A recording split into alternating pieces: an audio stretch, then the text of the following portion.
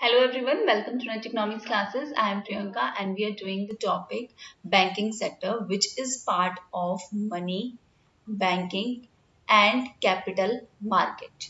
So ये money, banking and capital market का part है which is very important part of Indian economy. And in Indian economy, we have already completed our two topics that is Indian public finance and national income बहुत important topic है। इसके साथ हमने इसके सारे previous year questions भी complete कर लिए हैं। ओके सो हम money banking and capital market से स्टार्ट कर रहे हैं। अगर आपने प्रीवियस वीडियोस नहीं देखी है तो लिंक उसका डिस्क्रिप्शन में मेंशन है। Go and watch okay so start करते हैं बैंकिंग सेक्टर से। First of all banking sector में सबसे पहले नाम आता है तो किसका आता है? आरबीआई का। आरबीआई क्या है? RBI is the central bank of our country और किसके रिकमेंडेशन से, कौन सा कमीशन सेटअप हुआ था आरबीआई की एस्टेब्लिशमेंट के लिए? सो हिल्टन कमीशन की रिकमेंडेशन आई थी, कब आई थी? अप्रैल 1935 में। And RBI was set up on the basis of this commission with the enactment of RBI Act 1934. As you know, it is the apex bank of our, it is the apex institutions of our country's monetary system.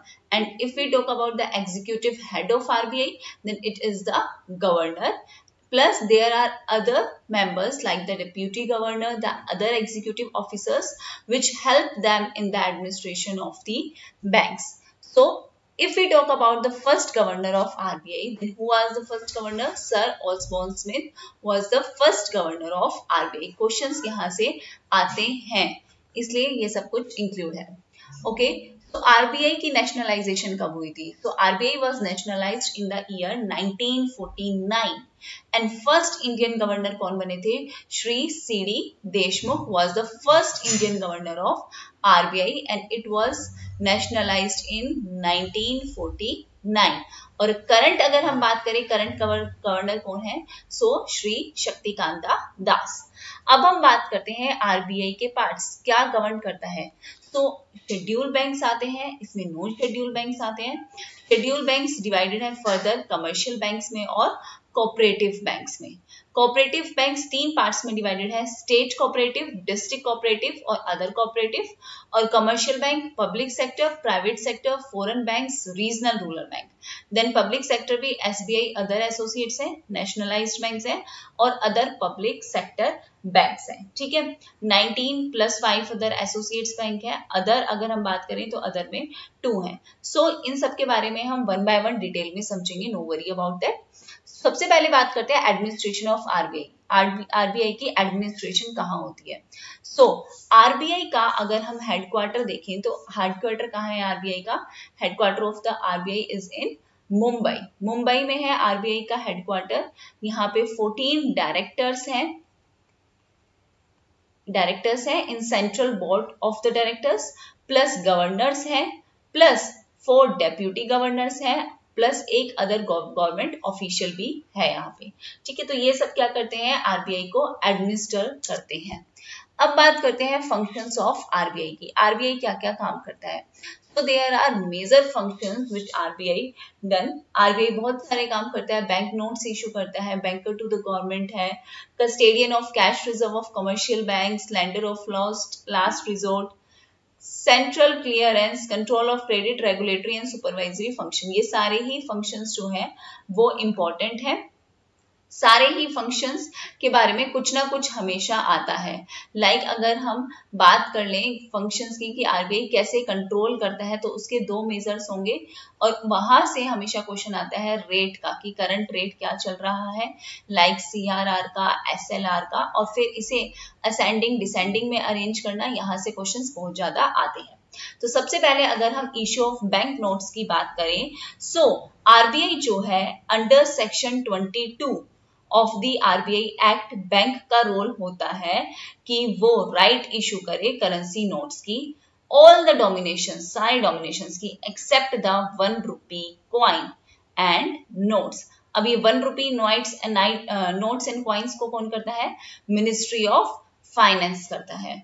बाकी सारे notes कौन करता है? RBI issue करता है। Next banker to the government banker to the government का क्या मतलब है? आरबीआई कैसे एक्ट करता है? एक बैंकर एजेंट की तरह, एक बैंकर बैंकर एजेंट की तरह और advisory to the government government को एडवाइस भी प्रोवाइड करता है। आरबीआई जो है, दोनों ही सेंट्रल हो चाहे स्टेट गवर्नमेंट हो, दोनों ही गवर्नमेंट की हेल्प करता है टू फ्लोट न्यू लोन्स नए लोन्स के लिए हेल्प करता है। प्लस पब्लिक डेप्ट को भी मैनेज करता है। कौन? आरबीआई सो आरबीआई के बहुत इंपॉर्टेंट फ़ंक्शंस होते हैं, अगर हम बात करें कैश रिज़र्व जो सीआरआर होता है, वो उस रिजर्व्स को रखना, उसकी कस्टडी फॉरेन करेंसी रिजर्व्स की custody lender of last resort lender of last resort का क्या मतलब होगा?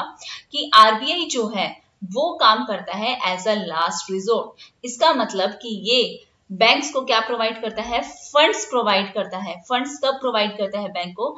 जब बैंक के पास कोई और अदर सोर्स बचता ही नहीं है। When bank fail to get the sources or to get money from or get funds from other sources.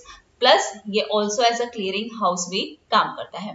Control of credit का मतलब क्या है कि आरबीआई के पास पावर है कि वो मनी में जो बैंक है उसकी वॉल्यूम ऑफ़ क्रेडिट को कितना वो क्रेडिट दे सकती है, उसको क्या कर सकता है?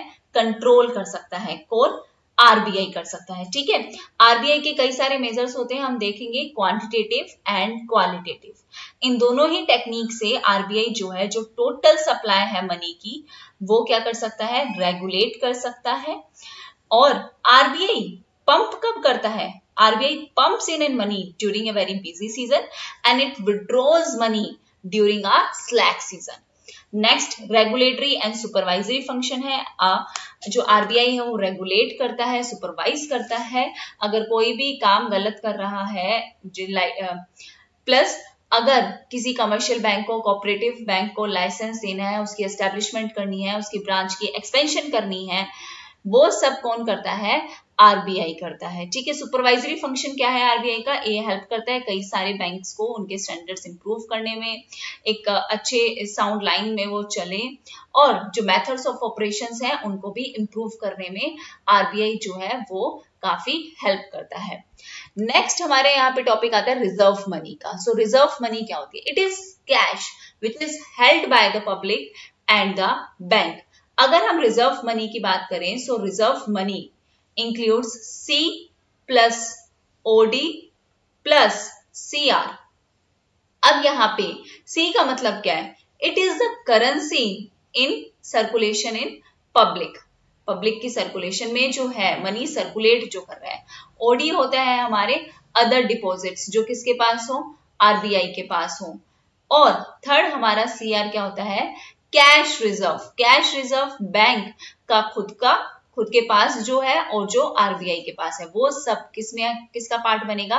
रिज़र्व मनी का। यहाँ से क्वेश्चन आ सकता है कि आपको यहाँ पे अलग अलग जो है, ये फॉर्मूलेज जो है वो दे रखे होंगे क्वेश्चंस में। ऑप्शन आपके पास होंगे तीन, चार। आपको करेक्ट बताना है तो क्या होगा? C plus O D plus C R यहाँ पे आपसे पूछा जा सकता है कि कैश रिज़र्व में जो बैंक खुद के पास रखता है, सिर्फ़ वो ही आएगा या जो आरबीआई के पास रखता है, वो भी आएगा। तो दोनों ही आएँगे। ठीक है? नेक्स्ट हमारा यहाँ पे टॉपिक आता है लिक्विडिटी का। तो लिक्विडिटी का मतलब क्या होता है? It refers to the ability to convert one asset in another एक एसर्ट की लिक्विडिटी हाई कब मानी जाती है? जब वो इजिली जो है कन्वर्टेबल है इनटू अदर एसर्ट्स और अगर हम करेंसी के अलावा किसी और एसर्ट की बात करें, जो लिक्विड मानी जाती है। करेंसी तो हाईली लिक्विड एसर्ट है। उसके अलावा हमारे स्टॉक्स हमारे बोन्स ये सब भी किसमें आएँगे? लिक्विडिटी में ही हाई लिक्विडिटी में आएँगे। अब अगर हम एक बात करें, जब एक इन्वेस्टर आसानी से कैश के बदले सेल कर दे कोई चीज़ तो वो मानी जाती है लिक्विडिटी की। कितनी आसानी से वो कैश में कन्वर्ट हो जाएगा, ठीक है? और अगर उसकी डिफिकल्टी है सेल करने में, वो सेल नहीं कर पा रहा। If you feels more difficulty और converting into cash then it will be it will be have less liquidity low liquidity होगी उस पर्टिकुलर एसेट की। Next is the topic of aggregate liquidity aggregate liquidity से भी question आया हुआ है। सो aggregate liquidity का क्या मतलब है? It refers to the ease of executions for financial transaction for everyone in the entire market जो हाईली डिपेंड किस पे करता है? क्रेडिट की अवेलेबिलिटी पे मनी सप्लाई की अवेलेबिलिटी पे। एग्रीगेट लिक्विडिटी लिक्विडिटी एक परसेंट की एग्रीगेट लिक्विडिटी अब मार्केट में जो भी है, पूरी मार्केट के लिए कंप्लीटली हाईली लिक्विड होना। अब वो कब हो सकता है और ये किसके ऊपर डिपेंड कितनी आसानी से जो है क्रेडिट मार्केट में अवेलेबल है मनी सप्लाई मार्केट में कितनी है, वो ही तो बताता है कि हमारी लिक्विडिटी जो है जो है वो कितनी होगी। Next implications for economic growth अब इसका इकोनॉमिक ग्रोथ क्या लेना देना है? एग्रीगेट लिक्विडिटी का। तो aggregate liquidity has a merry very major effect on the market conditions if the amount of money available to the borrower in the market is small और shrinking business have very harder time financing new investments and paying debt. ठीक है, अगर हमारी amount जो हम borrower को दे रहे हैं, अगर वो कम हो जाए। देखो अगर बंदे के पास पैसा ही नहीं होगा तो वो आगे इन्वेस्टमेंट कैसे करेगा? इन्वेस्टमेंट कैसे करेगा? अपने डेप्ट को पे कैसे करेगा एक बिजनेसमैन ये सारी चीज़ें। तो पूरी इकोनॉमी पे एक लिक्विडिटी का इफ़ेक्ट तो बहुत ज़्यादा पड़ता है। मान लो मेरे पास कोई ऐसी एसेट है, जो आसानी से कैश में कन्वर्ट ही नहीं हो रही है तो मनी की सप्लाई कैसे रहेगी मार्केट में? लोगों के पास अगर ऐसे ही एसेट्स है जो कन्वर्ट नहीं हो रही तो कैश की सप्लाई मनी की सप्लाई कैसे मार्केट में रहेगी? तो हमारी इकोनॉमिक ग्रोथ पे इसका इफ़ेक्ट पड़ता है। ठीक है? नेक्स्ट अब बात करते हैं क्रेडिट कंट्रोल की, कि किस तरीके से आरबीआई जो है क्रेडिट को कंट्रोल करता है। तो सबसे इंपॉर्टेंट बात क्रेडिट कंट्रोल एक वेरी इंपॉर्टेंट टूल है मॉनेटरी पॉलिसी का आरबीआई जिसको यूज़ करता है which is the central bank of our country किस लिए? To control the demand and supply of money and the flow of credit in an economy ठीक है? RBI किसको कंट्रोल करता है? He have he has control over the credit which is created by the commercial banks देखो अगर market में एक आसानी से इस चीज़ को समझते हैं मान लो मार्केट में बहुत पैसा है ठीक है? अब आरबीआई भी आसानी से आरबीआई कह देता है कि ठीक है लोन दे दो और रेट ऑफ़ इंटरेस्ट अगर कम कर दिए तो आसानी से लोग ज़्यादा पैसा लेंगे और मार्केट में मनी की फ्लो जो है वो ज़्यादा होगी ठीक है? अब ज़्यादा मनी की फ्लो भी मार्केट में सही नहीं है है ना? सो so, आरबीआई क्या करेगा? आरबीआई अगर मनी फ्लो बहुत ज़्यादा है मार्केट में तो उसको कम करने के लिए रेट ऑफ़ इंटरेस्ट अगर वो अपना इंक्रीज कर देता है तो लोग कम लोन लेंगे। कम लोन लेंगे तो मार्केट में फ्लो भी कमाएगा तो ये तो सिर्फ़ छोटा सा एग्जांपल है। ऐसे बहुत सारे तरीके हैं जिस तरीके से आरबीआई जो है वो क्रेडिट को कंट्रोल करता है। And we know that these are quantitative and qualitative measure so पहली बात प्राइमरी ऑब्जेक्टिव क्या होता है आरबीआई का? क्या कंट्रोल करना होता है, उसे इन्फ्लेनेशनरी टेंडेंसी जो हमारी इकोनॉमी में है। इन्फ्लेनेशनरी टेंडेंसी को रोकना कंट्रोल करना। अगर बहुत ज़्यादा अगर इकोनॉमी में इन्फ्लेशन है तो वो भी हमारी इकोनॉमी के लिए अच्छा नहीं है। लेकिन एक मिनिमम परसेंट अगर हमारी इकोनॉमी में इन्फ्लेशन है तो वो होना भी ज़रूरी है। याद होगा, हमने इंडियन पब्लिक फाइनेंस में भी ये चीज़ की थी। एक तो इन्फ्लेशन के बारे में हमने वहाँ पे पढ़ा था और एक नेचुरल रेट ऑफ़ अनएम्प्लॉयमेंट के बारे में हमने पढ़ा था कि ये चीज़ें इकोनॉमी में होती भी है और होनी भी चाहिए, वो हमारी इकोनॉमी के लिए अच्छी होती है, ठीक है? So primary objective according to RBI क्या है? To control the inflationary tendency which is present in the economy क्या इंश्योर करने के लिए हाई इकोनॉमिक ग्रोथ ताकि इकोनॉमी में लिक्विडिटी भी रहे और रिसोर्सेज का जो है, वो मैक्सिमम यूटिलाइजेशन भी हो सके। सबसे पहली बात, क्या मोटिव्स हैं? इंटरनल प्राइस स्टेबिलिटी को कंट्रोल करना अचीव करना। फाइनेंशियल स्टेबिलिटी रखना मार्केट में। फॉरेन एक्सचेंज रेट में स्टेबिलिटी रखना। और फाइनेंशियल रिक्वायरमेंट्स को फुलफिल करना अगर हमारी इकोनॉमी स्लो डाउन हो रही है। इनपुट इनकम आउटपुट एम्प्लॉयमेंट इन सब चीज़ों को मैक्सिमाइज रखना। बिज़नेस साइकिल को एलिमिनेट करना, एकदम से रिसेशन बूम डिप्रेशन ये इन सारी चीज़ों को, एक इकोनॉमी को स्टेबल इकोनॉमी बनाना इकोनॉमिक ग्रोथ को प्रमोट करना और डेवलपमेंट करना। यहाँ से क्वेश्चन आ सकता है कि आपके पास ऑप्शंस होंगे, आपको बताना है कि main objective main objective RBI का क्या होता है, ठीक है? आपको ऑप्शंस में से करेक्ट ऑप्शंस को चूज़ करना होगा।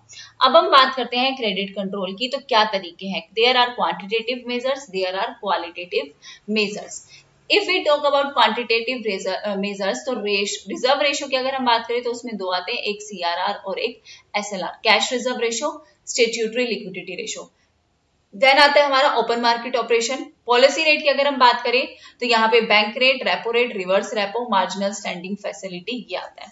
तो अगर हम यहाँ पे बात करें तो यहाँ से क्वेश्चंस कैसे आ सकते हैं? मतलब तो आप सबको ही पता होगा, हम जानेंगे भी इसके मतलब। लेकिन रेट से रिलेटेड क्वेश्चन आते हैं, जो मैंने पहले भी डिस्कस किया था। तो सी आर आर करंट हमारा तीन परसेंट है। ठीक है, ये तो आप लोग हमेशा रखना ध्यान में, क्योंकि यहाँ से क्वेश्चन आता है एग्ज़ाम से एक दिन पहले सारे रेट्स वगैरह, ऐसी जो भी चीज़ें हैं, उनको एक बार पढ़ के ज़रूर जाना।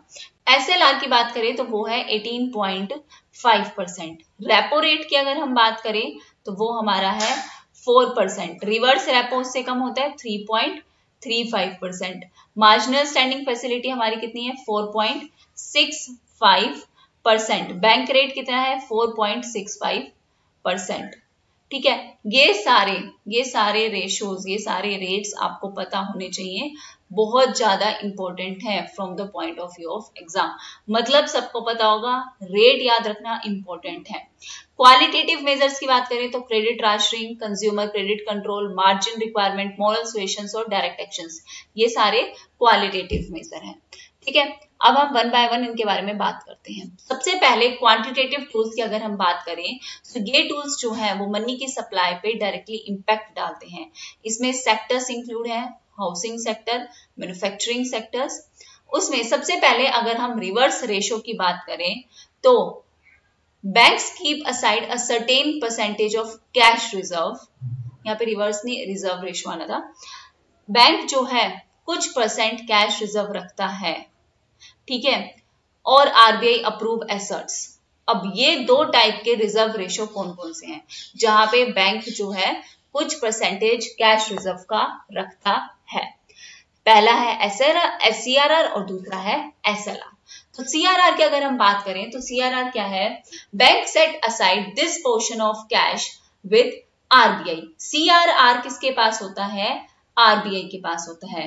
Bank can not lend this amount to any one or earn a profit or interest rate on CRR CRR को बैंक आगे उधार पे नहीं दे सकता क्रेडिट पे नहीं दे सकता लैंडिंग पे नहीं दे सकता।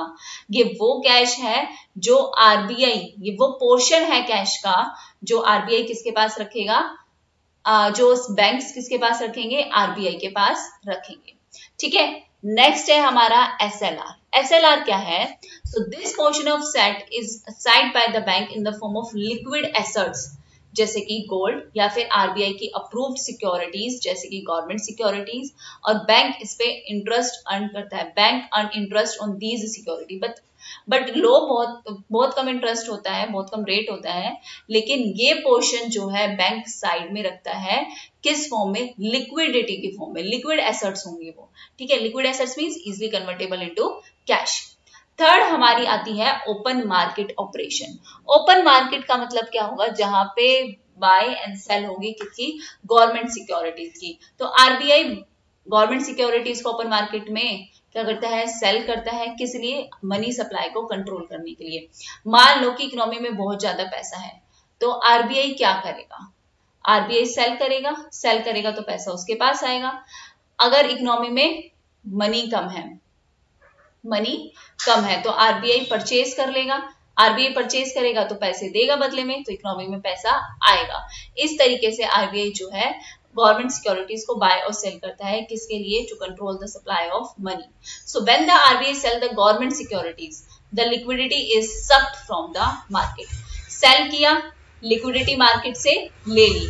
और जब अगर बाय कर रहा है सिक्योरिटी तो उसका मेन एम क्या है? लिक्विडिटी को प्रोवाइड करना लिक्विडिटी हो मार्केट में, पैसा जाए मार्केट में, जिससे हम इन्फ्लेशन को कंट्रोल कर सकते हैं। सो मेन एम क्या होता है ओपन मार्केट ऑपरेशन का?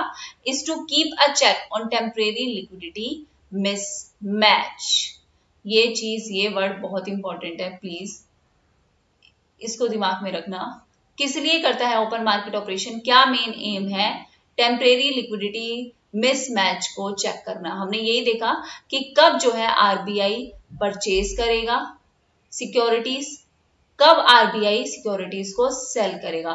कब उसका मतलब है कि इकोनॉमी में लिक्विडिटी को प्लस करना है और कब इकोनॉमी से लिक्विडिटी को हटाना है?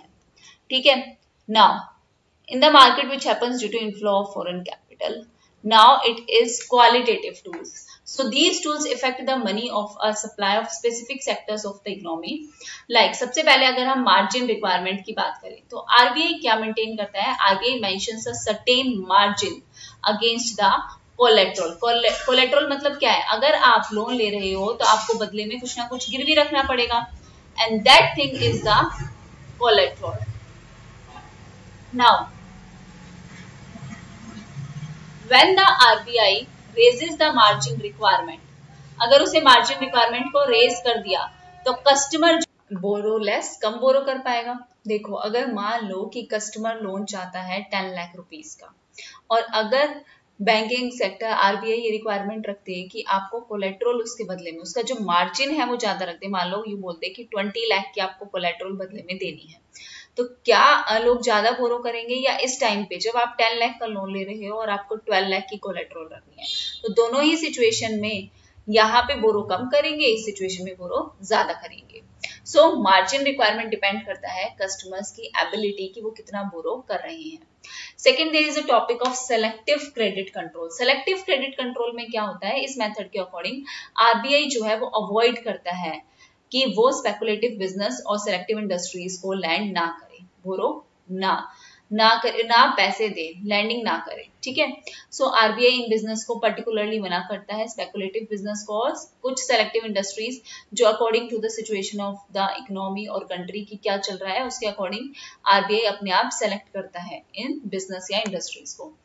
Next is moral so with the help of this tool central bank क्या करता है? It persuades other bank to keep money in the government securities कि आप अपना पैसा गवर्नमेंट सिक्योरिटी में रखोगे, ना कि किसी और सेक्टर में।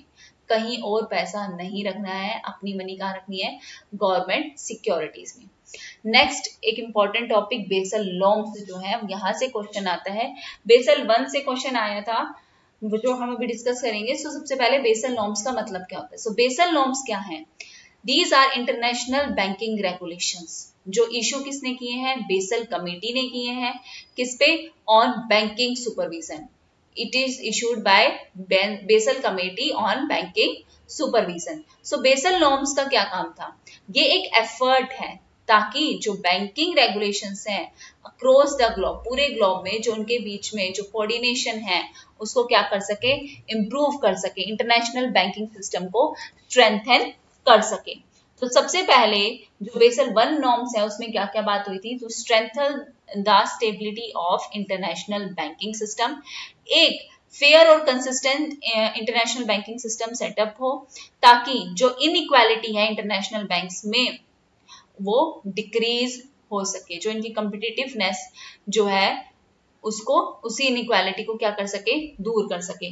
यहाँ से एक क्वेश्चन आया था कि इस टाइम पे रिस्क वेटेड एसर्ट रेशो कितना फिक्स किया गया था तो वो किया गया था एट परसेंट ठीक है 2012 में आया था ये क्वेश्चन 2012 में या 11 में आई थिंक तो सेकंड बेसल नॉर्म क्या था? सेकेंड बेसल नॉर्म हमारे थे, जिसमें तीन पिलर थे। पहला मिनिमम कैपिटल रिक्वायरमेंट दूसरा सुपरवाइजरी रिव्यू प्रोसेस और तीसरा था डिस्क्लोजर एंड मार्केट डिसिप्लिन ये बेसल नॉर्म्स जानने ज़रूरी है, क्योंकि यहाँ से डायरेक्ट क्वेश्चन भी आ सकता है कि ये बेसल टू का पार्ट है, बेसल वन का पार्ट है, या आपको ऑप्शन दे देंगे और आपको बताना है कि बेसल वन की क्या क्या रिक्वायरमेंट्स थी। चार ऑप्शन है, आपको बतानी कौन सी रिक्वायरमेंट बेसल वन की थी, या बेसल टू की या बेसल थ्री की। ठीक है, अब हम बेसल थ्री की बात करें so it is a 2009 international regulatory actually में ये रिलीज़ तो 2010 में हुआ था, लेकिन ये 2009 का है। इंटरनेशनल रेगुलेटरी इसके अकॉर्डिंग क्या था? It accord that introduced a very set forms of design to mitigate the risk within the international banking sector उन्हीं सेक्टर्स के बीच में जो है वो रिस्क डिफाइड हो जाए डिस्ट्रीब्यूट हो जाए, मिल जाए। By requiring bank to maintain a proper leverage ratio and keep certain capital certain level of reserve capital on hand कुछ कैपिटल उनके पास रिज़र्व होनी चाहिए, एक प्रॉपर लीवरेज रेशो होना चाहिए किसका? बैंक्स का। तो यहाँ पे अगर हम पिलर की बात करें तो पहली थी हमारी क्वालिटेटिव रिक्वायरमेंट क्वांटिटेटिव रिक्वायरमेंट थी हमारा पहला पिलर दूसरा पिलर था हमारा सुपरवाइजरी रिव्यू और तीसरा पिलर था हमारा डिस्क्लोजर रिक्वायरमेंट ठीक है? प्रॉपर डिस्क्लोजर की रिक्वायरमेंट रहेगी। तो ये हमारे थे बेसल नॉर्म्स हाँ एक और चीज़ के बारे में समझते हैं। एक अच्छा सा डिफरेंस है जहाँ से क्वेश्चंस आते हैं that is what is the difference between repo rate and reverse repo rate repo rate और रिवर्स रेपो रेट में क्या डिफरेंस है? हमने ये, हमें ये तो पता चल गया कि इनका रेट क्या है। अब हमें ये भी पता होना चाहिए कि इनका मतलब क्या है। तो रेपो रेट हमारा कितना परसेंट था? फोर परसेंट रिवर्स रेपो हमारा कितना था? 3.35 परसेंट अब यहाँ देखो परसेंटेज में रेट में डिफरेंस है, क्यों है? इसका मतलब इसकी डेफिनेशन में कुछ ऐसा होगा कि कोई ना कोई मतलब तो होगा। तो रेपो रेट कौन सा रेट होता है? ये ऐसा रेट है at which RBI lends money to commercial banks RBI यहाँ बैंक्स को क्या देता है? लोन देता है। आरबीआई लैंड करता है। आरबीआई अगर लैंड कर रहा है तो वो बदले में कितना इंटरेस्ट ले रहा है? फोर परसेंट रिवर्स रेपो की अगर हम बात करें तो रिवर्स रेपो क्या है? The rate at which RBI borrow money from banks अब यहाँ आरबीआई बोरो कर रहा है। अगर आरबीआई बोरो कर रहा है तो आरबीआई रेट क्या दे रहा है? कम दे रहा है 3.35 परसेंट तो हम, एक क्वेश्चन ऐसे भी आ सकता है कि हायर कौन है? रेपो रेट हायर होता है या फिर रिवर्स रेपो रेट तो repo rate is higher than reverse repo rate एक और चीज़ यहाँ पे रेपो रेट क्यों यूज़ किया जाता है? It is use to control the inflation and deficiency of funds inflation और डेफिशिएंसी को कंट्रोल करने के लिए हम रेपो रेट का यूज़ करते हैं। रिवर्स रेपो रेट की बात करें तो यहाँ पे हम कैश फ्लो को मैनेज करने के लिए रिवर्स रेपो रेट का यूज़ करते हैं। सो so, ये जो है डिफरेंस बहुत इंपॉर्टेंट है। डेफिनेशन भी आ जाती है डायरेक्ट रेट भी आ जाता है डायरेक्ट ये भी पूछ सकते हैं कि रेपो रेट हायर होता है या रिवर्स रेपो रेट हायर होता है। So this is all about the banking sector हम जो नेक्स्ट टॉपिक है उसमें कमर्शियल बैंक्स के बारे में डिस्कस करेंगे। So thank you very much everyone thank you very very much आप जो इतना सपोर्ट कर रहे हो उसके लिए। आई होप मैं आपको सारी इन्फॉर्मेशन और अप टू डेट इन्फॉर्मेशन साथ के साथ टॉपिक वाइज कंप्लीट करा सकूँ। और बिल्कुल टेंशन लेने की ज़रूरत नहीं है। हम हर एक टॉपिक के बाद उसके प्रीवियस ईयर क्वेश्चंस ज़रूर करेंगे। सारे प्रीवियस ईयर क्वेश्चंस करेंगे, जिससे आपको ये समझ में आए कि ये जो इतनी एक्सप्लेनेशन अगर मैं दे रही हूँ तो इसका रीजन क्या है? क्योंकि हर एक पॉइंट से क्वेश्चन जो है, वो बन के आ जाते हैं। आपको ये भी नहीं पता होगा कि एक सिंपल सी लाइन है that it is an institutional body it is an constitutional body sorry यहाँ से भी क्वेश्चन आ जाएगा डायरेक्ट आरबीआई नेशनलाइज कब हुआ था? ये क्वेश्चन आ जाएगा और रेट में कंफ्यूजन हो जाती है क्योंकि ईयर्स जो है वो आसपास के ही दे देंगे। इतने आसपास दे देंगे कि आपको कंफ्यूजन होगी ही होगी। ऑब्वियस सी बात है। सो so, इसके टॉपिक के साथ आप भी हमेशा क्या करें कोई भी आप टॉपिक उठा रहे हैं कोई भी टॉपिक अगर आप समझने की कोशिश कर रहे हैं तो टॉपिक के बाद हम जो है आप भी उसके सारे प्रीवियस ईयर क्वेश्चंस जो है, वो करके देखा करो कि उस पर्टिकुलर टॉपिक से आपको प्रीवियस ईयर क्वेश्चंस आते हैं कि नहीं आते क्योंकि अगर आपने टॉपिक तो कर लिया, लेकिन उससे रिलेटेड अगर आपने एक भी क्वेश्चन उठा के देखा और आपको वो क्वेश्चन ही नहीं आया तो आपके वो टॉपिक समझने का फ़ायदा क्या रह जाएगा? कोई फ़ायदा नहीं रह जाएगा। सो प्लीज़ टॉपिक के साथ उससे रिलेटेड क्वेश्चन ज़रूर किया करो। और प्लीज़ इंडियन इकोनॉमिक के बाद मैं कौन सा टॉपिक स्टार्ट करूँ, मुझे बताना। क्योंकि माइक्रो इकोनॉमिक्स ग्रोथ मॉडल ये मैक्रो इकोनॉमिक्स ये सारे ही बहुत इंपॉर्टेंट टॉपिक्स हैं. So thank you very much everyone if you find its helpful then please like share and subscribe take care everyone stay safe and stay healthy